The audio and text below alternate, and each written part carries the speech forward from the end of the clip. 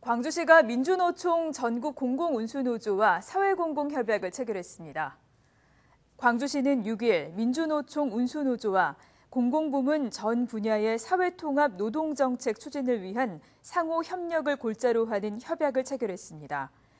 특히 이번 협약에는 간접고용 근절과 비정규직 고용 처우 개선, 노동협력 강화에 대한 내용도 포함됐으며 구체적인 실현 방안은 지속적인 협의를 통해 마련해 나갈 예정입니다.